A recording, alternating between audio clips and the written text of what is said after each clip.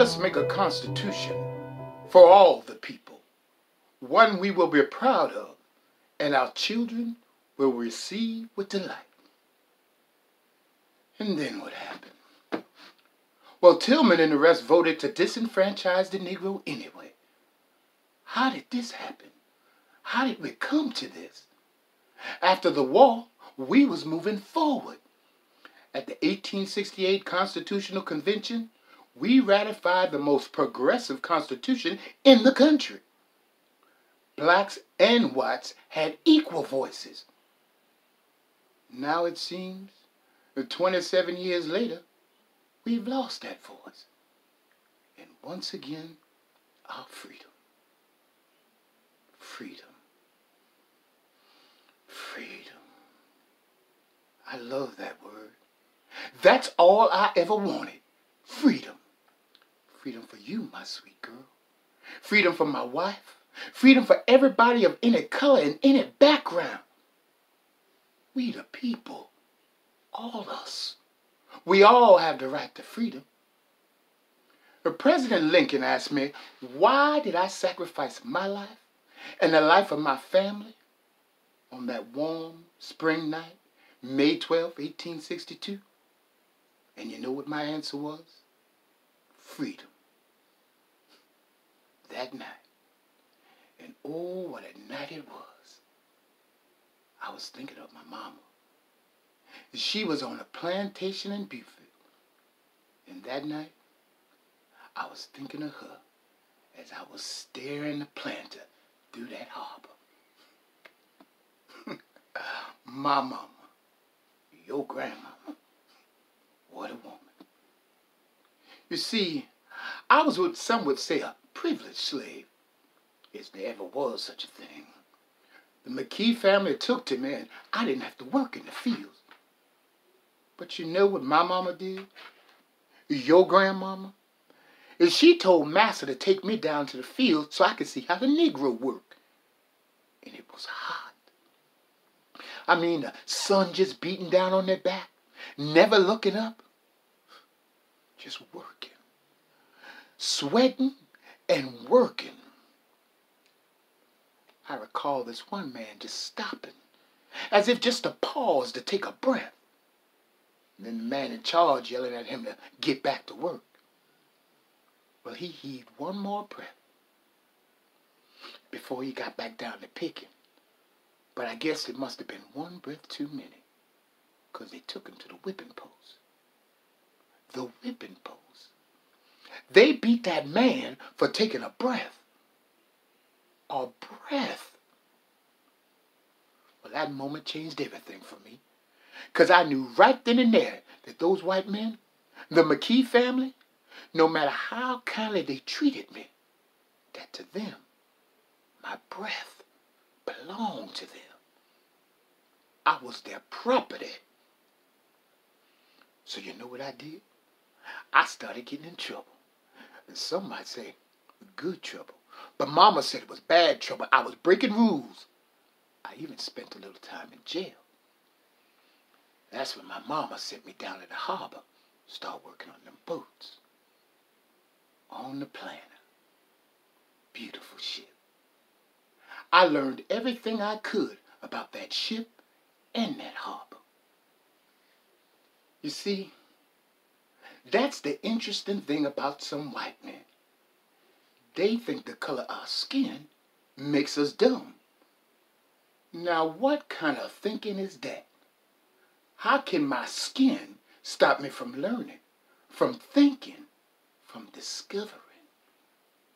I mean, your skin can't stop you from thinking, now can it?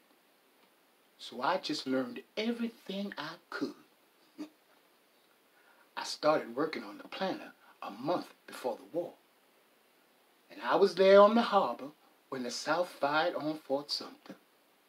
People standing up on their roofs, cheering on the Confederate soldiers, and me just standing there, looking, looking, wondering, and thinking.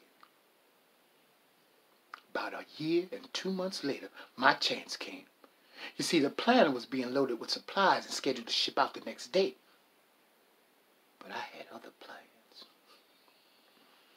That night, and oh, what a night it was, May 12th, I took the wheel of that ship. I took the wheel of the Planter. 3.30 a.m., 16 men, including myself, including your mama, your sister, and you. Well, I had to take you with me.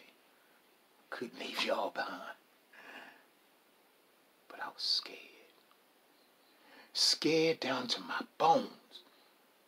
I had taken the captain's uniform and his wide straw hat. that hat. I pulled it down just so, so nobody could recognize my face. You see, we had to get past Fort Johnson and Fort Sumter before the dawn came up, before anyone noticed.